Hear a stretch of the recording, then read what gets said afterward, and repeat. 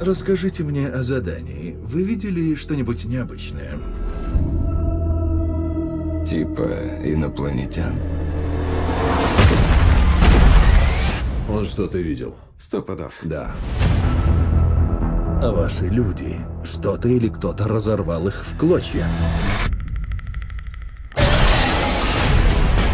Кажется, это попытка гибридизации.